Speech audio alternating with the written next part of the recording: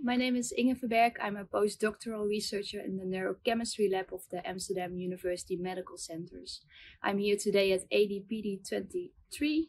I'm presenting my work on blood-based biomarkers and I'm very happy to have received the Junior Faculty Award for my work. Um, my research uh, has as a primary aim to develop a blood test for Alzheimer's disease.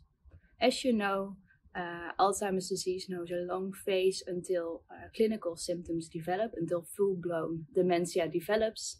Uh, we want to diagnose Alzheimer's disease as early as possible in this disease process. Especially with the Alzheimer therapeutics on the horizon, it will be of utmost importance to have an accessible diagnosis to everyone. And a blood test will facilitate such an accessible diagnosis.